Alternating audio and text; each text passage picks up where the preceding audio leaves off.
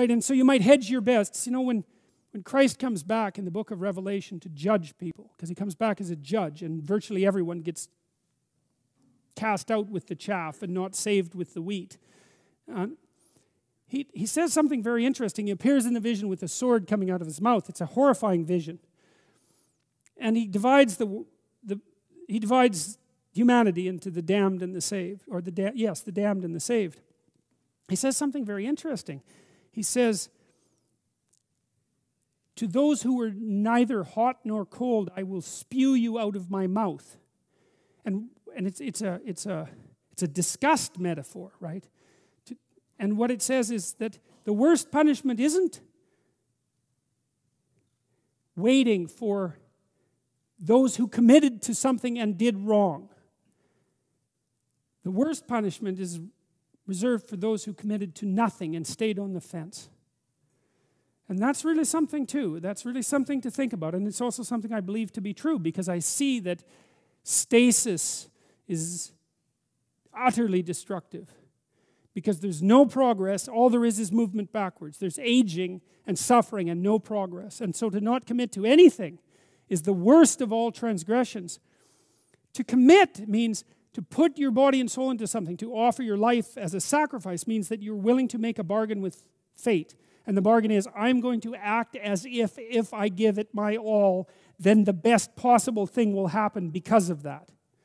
And to, to not see the analogy between that and the, the act of faith in God is to misunderstand the story completely. And it has to be an act of faith because how are you going to know?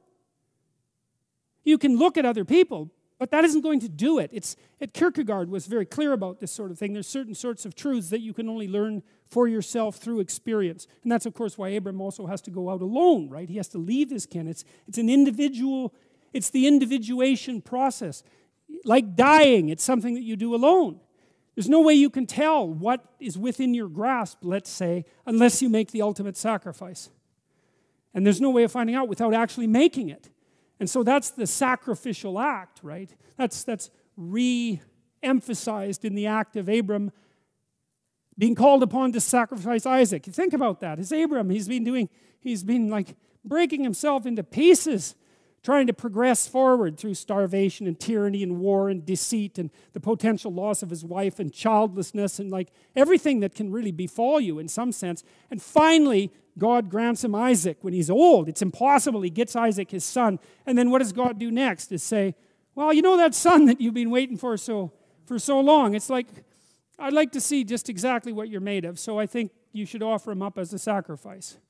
And I mean, it's a very barbaric story in, in a sense, and maybe in more than just a sense. But Abraham does maintain his covenant.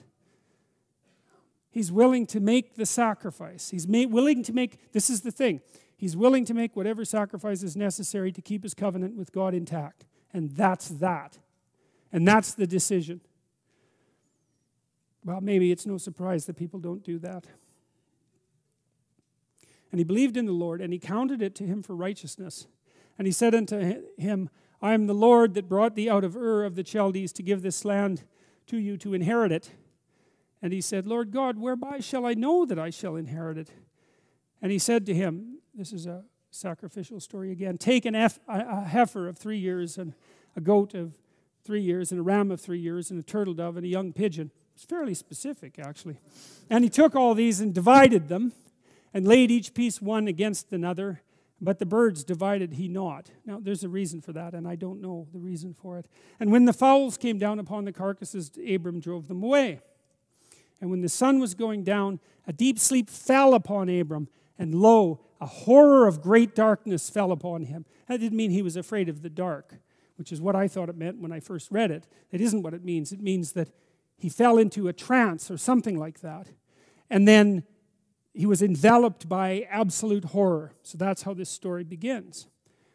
And here's the commentary from Joseph Benson, who was an English Methodist minister who lived in 1749 was born in 1749. And when the sun was going down, about the time of the evening, oblation, the washing, for he abode by them, praying and waiting till toward evening.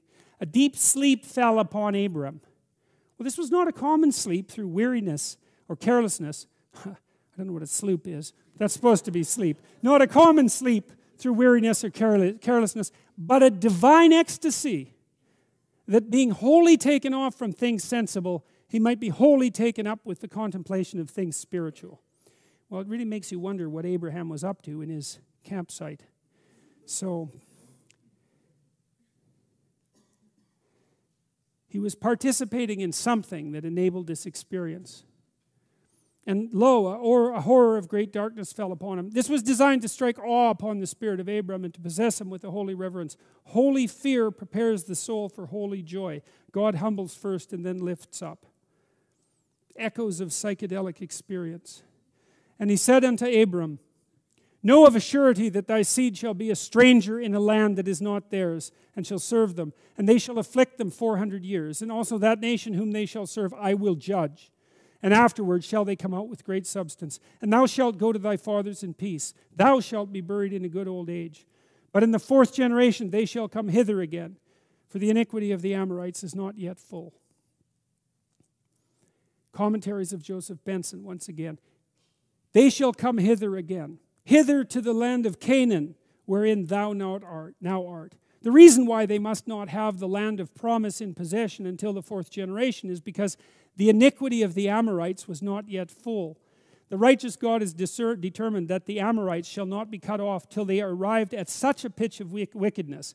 And therefore, till it come to that, the seed of Abraham must be kept out of possession. So, the interpretation of the story essentially is that Abraham's descendants will end up enslaved in Egypt for a long, a lengthy period of time, and eventually come back to the land of Canaan. And it's interesting, too, because this is part of Abram's bargain with God. And in this divine vision, I mean, he's been promised everything. But it's a pretty tough bargain because, you know, when, when, when God is pushed or reveals himself, let's say, he says, look, you're going to get your damn descendants, you know, but it's not going to be, uh, it's, it's, it's, it's going to be a tough journey.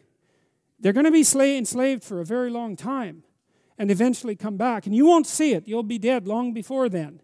And so it's a realistic promise in a sense. And you might say, well, Abram is so de desperate to keep the faith that he's willing to read good into what isn't good. But I think, I, I, think, I don't think that's the right way to look at it. I think the right way to look at it is that the people who wrote these stories were very realistic and they knew that even if things turned out well for you, I mean, it was still going to be real. You know, it wasn't going to be some fantasy. It's like, let's say you have a family that flourishes. It's, people are still going to die. They're still going to get sick. They're, they're still going to have, they're still going to be alive, you know, with all of its suffering. But it'll be the, but it'll be a life that's rich enough and complete enough so that it'll justify its, its nature, essentially. And so, and it came to pass that when the sun went down and it was dark, behold, a smoking furnace and a burning lamp that passed between the pieces. Albert Barnes, American theologian, commented on this. The oven of smoke and lamp of flame symbolize the smoke of destruction and the light of salvation. They're passing, passing through the pieces of the sacrificial victims and probably consuming them as an accepted sacrifice are the ratification of the covenant on the part of God, as the dividing and presenting of them were on the part of Abram. In the same day, the Lord made a covenant with Abram, saying, Unto thy seed I have given this land, from the river of Egypt unto the great river, the river Euphrates, the Kenites and the Kenizzites and the Cadmonites, etc.